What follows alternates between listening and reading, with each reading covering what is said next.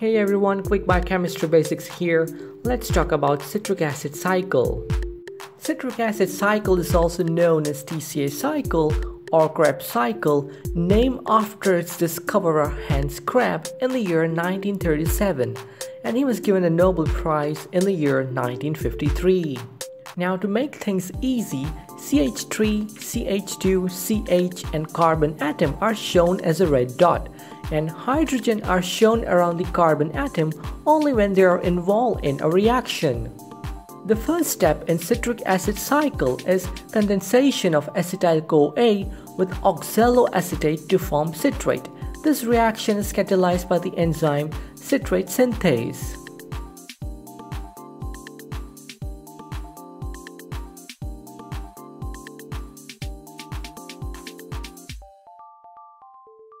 Citrate is then isomerized into isocitrate by the enzyme aconitase. This reaction is a reversible reaction.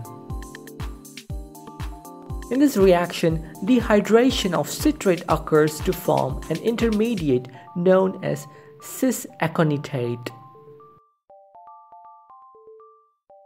followed by hydration reaction to form isocitrate.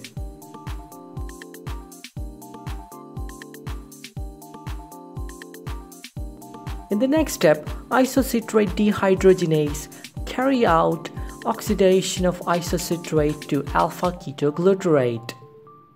In this reaction, NADP gets converted into NADPH and H+, along with the removal of CO2.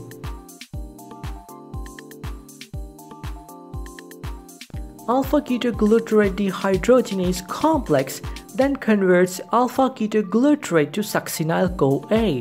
During this reaction, CO2 is released along with the addition of coenzyme A, and NAD plus gets converted into NADH.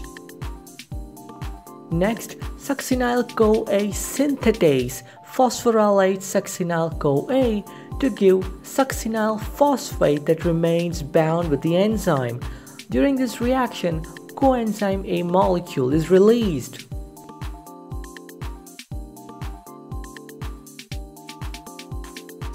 In the next step, succinate is released and the phosphate remains bound with one of the histidine residues in the enzyme.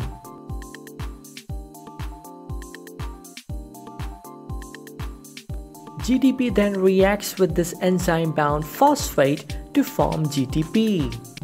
The reaction carried out by succinyl-CoA synthetase is a reversible reaction. Succinate dehydrogenase then converts succinate to fumarate with the help of FAD, which gets converted into FADH2. This is a reversible reaction.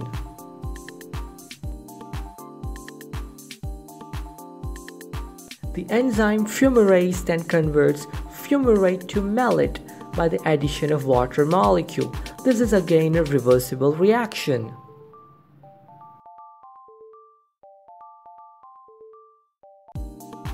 Malate dehydrogenase then converts malate to oxaloacetate. NAD plus gets converted into NADH and H plus and it is a reversible reaction.